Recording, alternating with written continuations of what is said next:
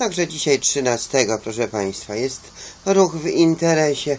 Tutaj babki na Saskiej drzwiami trzaskają, jak idą do domu, wracają, wchodzą, wychodzą, taki, taki ala e, burdelik.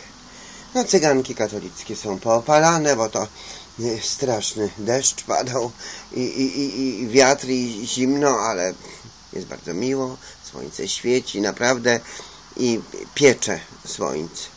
Jest niesamowicie ciepło. Pomimo, że no jak mi się do Buwu jechało, proszę Państwa, i pół godziny na dobrej i tam e, do sklepu można byłoby wejść. Ja już w bankomacie sprawdzałam, ile mam tam na koncie, a pół godziny autobusu nie było. Ani 118, ani 127, ani jakiegoś tam 300, a potem był jakiś 300, co mnie wywiózł. Trzeba było i tak dojść do Biblioteki Uniwersytetu Warszawskiego w czasie deszczu. Także nic ciekawego. Wszędzie kolejki, wszędzie jakieś coś, coś nie tak. A potem z powrotem, jak z biblioteki Uniwersytetu Warszawskiego wychodzę, to już trzy autobusy. 127, 105 wyskoczył, był 118, wszystkie trzy były.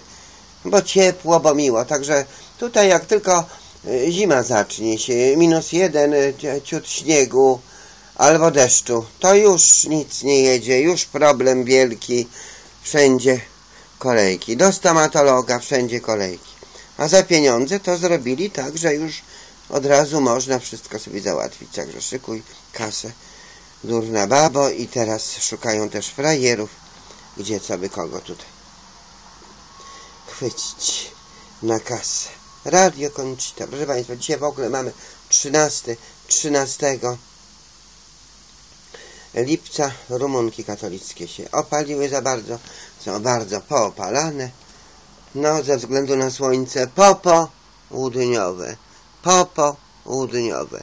Zapraszamy do naszych zabaweczek.